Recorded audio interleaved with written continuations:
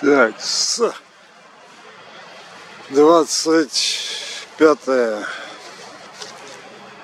марта 2021 год, Харьков, 18.01 по Киеву. Харькове горбатая луна у нас. Да, горбатая. Хочу снять вообще-то МКС, который через 12 минут должен появиться.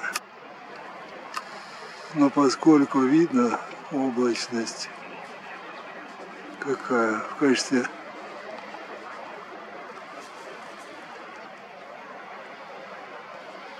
превентивной меры решил снять, пользуясь моментом Луну. Она тоже хороша. О, это Аристарх, что ли, нет? Не Аристарх. Да. Наверное, не Аристарх. А может, он, в смысле, кратер слева в.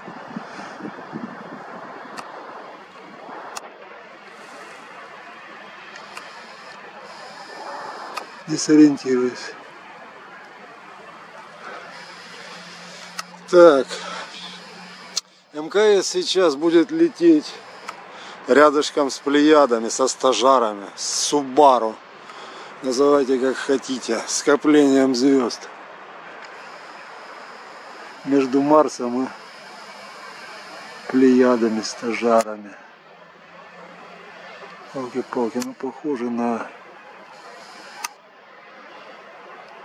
Аристарха. Очень яркий молодой кратер.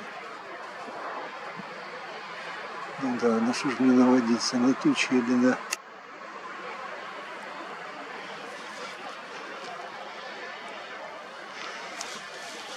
Субару. Я и не знал, что Субары, Субару это как раз плеяды, стажары. Ну, елки-палки. В окуляре вообще очень классно смотреть.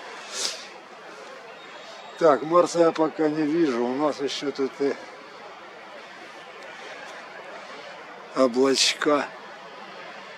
Ну, в принципе, если сильно повезет, хотя бы тень. Тень МКС.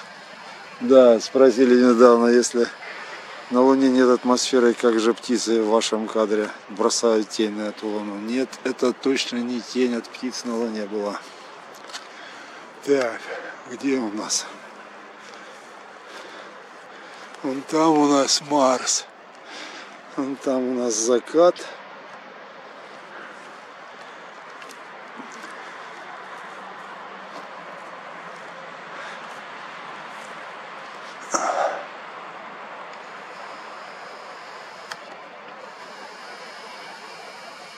Сейчас поставлю стоп-кадр на Луну. Зафиксируюсь на Луне. Ой, какой он там. Тоже на линии терминатора. Ну, то есть на грани света и тени. Какой колоритный кратерок. А он у нас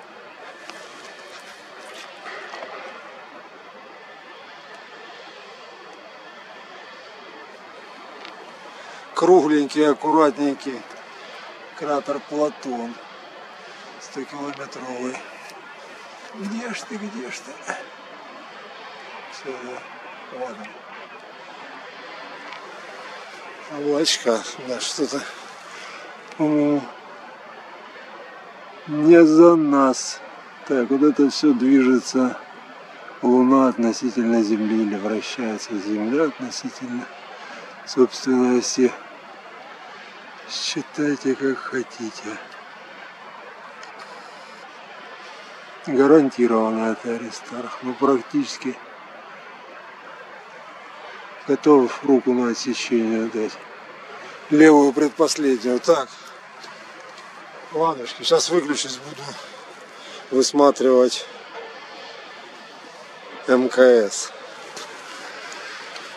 А у нас 18.06 по Киеву в Харькове, 25 марта 2021 год.